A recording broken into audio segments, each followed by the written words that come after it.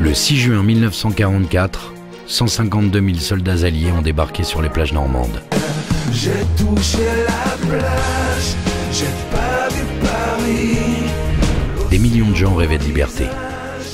Ils espéraient, ils attendaient, ils résistaient. Ils regardaient la mer et la mer a débordé. Juste un mot à dire, juste un mot à dire.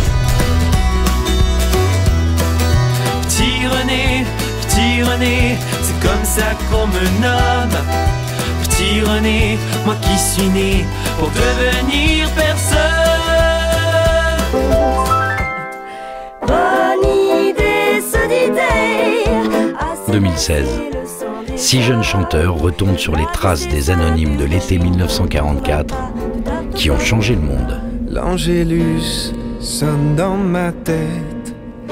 Et en plus, Des titres originaux écrits et composés par Charles Aznavour, Alain Chamfort, Jean-Jacques Goldman, Maxime Le Forestier, Yves Duteil et quelques-uns des plus grands auteurs français. Adieu, dérisoire, fleur d'histoire, seulement connue de Dieu. Été 44, le spectacle musical qui raconte l'incroyable épopée du débarquement de Normandie jusqu'à la libération de Paris.